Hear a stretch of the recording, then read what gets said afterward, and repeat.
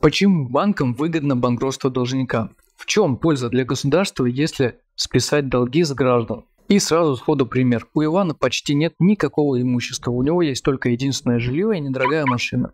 На работе его сократили, и теперь Иван перебивается с копейки на копейку непостоянными заработками. Ну а найти постоянную работу с той же зарплаты он не может. Но самое главное, Иван не платит по кредиту. Денег хватает только на еду, оплату квартиры. И тут Иван узнал, что можно списать долги через банкротство. Он попал к нам в компанию и стал нашим клиентом. Но он очень удивился, когда узнал, что банкротство, оказывается, будет выгодно и банку, и государству.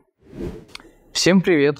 Я Роман Родин, руководитель федеральной юридической группы «Дело время». Мы уже более 8 лет законно избавляем граждан Российской Федерации от кредитных и других долгов. Обязательно досмотрите это видео до конца, и я расскажу, почему банк ничего не потеряет, а даже будет в плюсе, если вы законно спишете свои долги.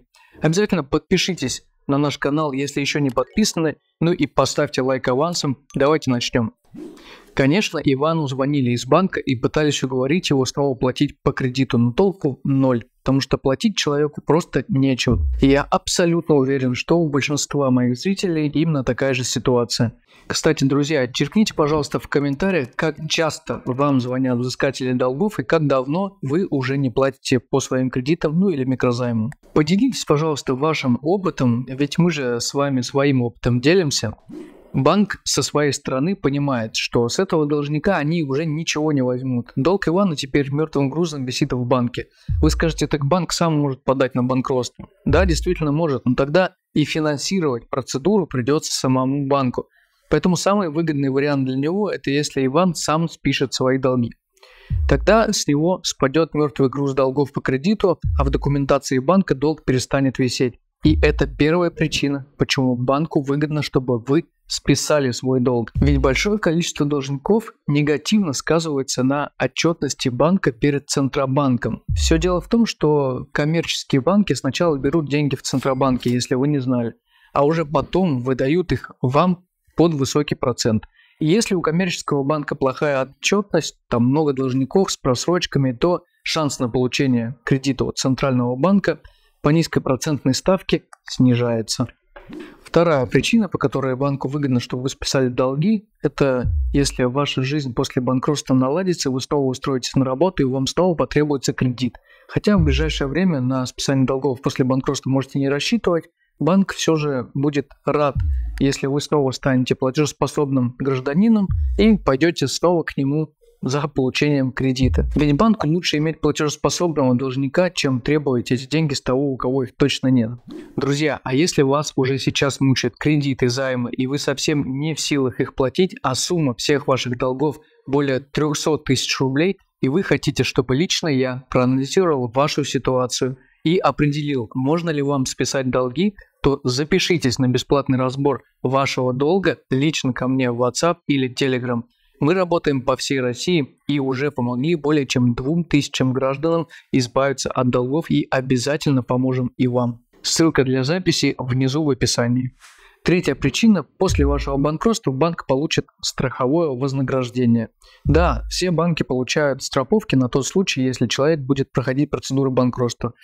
А еще, если банк спишет все долги, то он сможет запросить у Центробанка свои замороженные активы и вернуть их назад. Причина четвертая и самая очевидная. Банк уже окупил ваше банкротство, потому что все граждане, которые платят проценты банку, покрывают риски тех, которые не платят. Собственно, на процентах банк и зарабатывает. Так что за те кредиты, которые вы не платите, все равно заплатят другие люди, увы. Вы удивитесь, но государству тоже выгодно, чтобы вы списали свои долги. И последняя причина – это ваше психологическое состояние. Как бы странно и абсурдно это ни звучало, но да, государству выгодно, чтобы вы сняли с себя груз долгов и начали жить заново. Тогда вы снова начнете работать и снова начнете тратить деньги. И, возможно, даже устроитесь на официальную работу и будете платить налоги. А это значит, будете полноценным субъектом экономической деятельности. Итог. После всех моих аргументов моего клиента Ивана не осталось никаких сомнений, и он решил списать все свои долги. Кстати, живет он во Владивостоке, и это не мешает нам полностью взять на себя процедуру банкротства. Моя компания работает по всей России удаленно. Уже более 8 лет мы списываем долги гражданам и помогли более чем двум тысячам людям избавиться от их долгов. Это и кредиты, и кредитные карты, и микрозаймы, и долги по ЖКХ, и налоги, и даже долги по распискам перед физлицами. Друзья, а если после этого ролика вы хотите получить консультацию и помощь лично от меня, вас уже давно мучают микрозаймы, кредиты, прочие долги, вы хотите законно от них избавиться раз и навсегда, и общая сумма всех долгов более 300 тысяч рублей, напишите мне внизу по ссылке в WhatsApp или Telegram. Наша команда законно избавит вас от долгов раз и навсегда. Ссылка для записи в описании ниже к этому ролику. Я надеюсь, что ролик был вам полезен.